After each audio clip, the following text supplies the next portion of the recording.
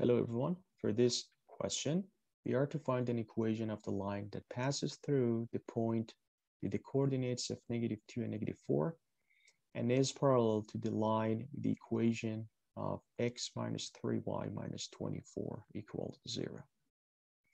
Recall that if two lines are parallel, their slopes must be equal.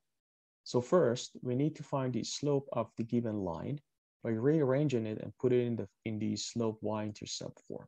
So we move over 3y and switch the sides to get 3y equals x minus 24. Then we can divide both sides or each term by 3 to solve for y. So the equation of the given line in the slope y-intercept is equal to 1 third x minus 8. The numerical coefficient of x is the slope of the given line.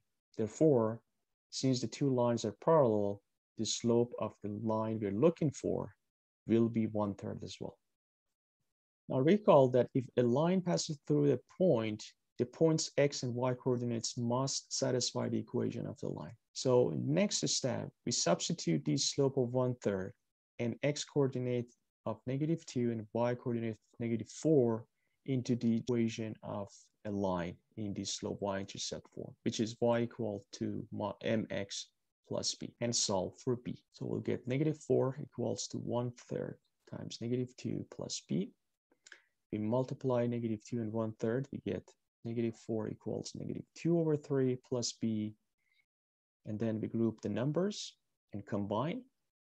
In order to combine, we need to find the common denominator, which is 3 and therefore our first term on the right hand side will be negative 12 over 3 which is equivalent to negative 4 now that the denominators are the same we can combine the numerators and we'll get b to be negative 10 over 3 which is y-intercept of the line we're looking for. Finally we substitute the slope of one third and the y-intercept of negative 10 over 3 into the equation of y equals mx plus b. So we'll get the equation of the line we're looking for to be y equals to 1 third times x minus 10 over 3. Thanks for watching.